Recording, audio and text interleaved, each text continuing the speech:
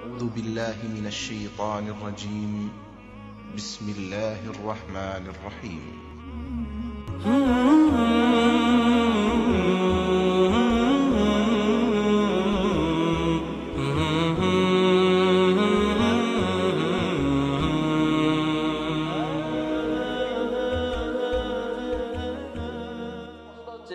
সবে মেয়েরাজ উপলক্ষে কোনো নফল নামাজ বা নফল রোজার শরীর হুকুম আছে কি? কোরআন হাদিসে বরাত দিয়ে জানতে চাই। ভাই, কোরআন হাদিসে বরাত তো সাব্যস্ত করার জন্য দিব। এটা তো নাই। সাব্যস্ত কেমনি করতাম? নাই জিনিসের জন্য কোরআন দলিল লাগবে না। আসলে নাই।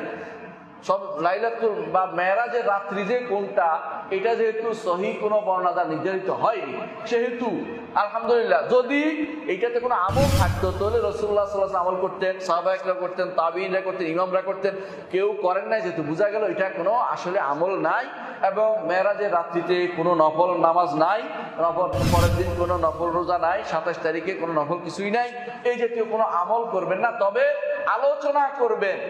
আলোচনা করবেন, ওই ওই রাত্রি নয়। অন্য যে কোনো সময় মেরাজের আলোচনা করবেন, নির্ধারণ করে আলোচনা বা অনুষ্ঠান করা বৈধ বৈধ নয়, এটা বেদাত হবে। কিন্তু হ্যাঁ এইটার এইটা যেমন আমরা আজকে করেছি, আজকের সাথে মেরাজের কোনো সম্পর্ক নাই। এই জন্য আমরা আজকে এর- এরকম সময়ে আমরা বেশি বেশি সময় আলোচনা করব, কারণ এটার মাহাত্ম যেন প্রকাশ পায় এবং আমরা যেন বুঝতে পারি সলাতের কি গুরুত্ব এবং আল্লাহ নবীকে আল্লাহ তারা কত ভালোবাসেন, যাকে ডেকে নিয়েছেন সবচেয়ে এমন জায়গা যার উপরে উঠার কোনো মানুষের ক্ষমতা সেখান পর্যন্ত নিয়ে দিয়েছেন। হ্যাঁ অন্যান্য নবীকে এত মর্যাদা তিনি দেননি যে মর্যাদা মোহাম্মদ রসুল্লাহ সাল্লামকে দিয়েছেন। সুতরাং নফল রোজার কিছু নেই বা নফল নামাজেরও কিছু সেখানে নেই।